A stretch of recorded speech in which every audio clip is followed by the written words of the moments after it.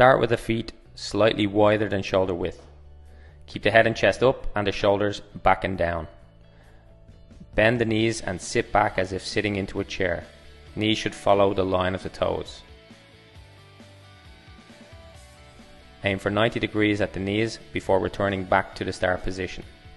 Avoid shifting to either side or allowing the knees to roll inward.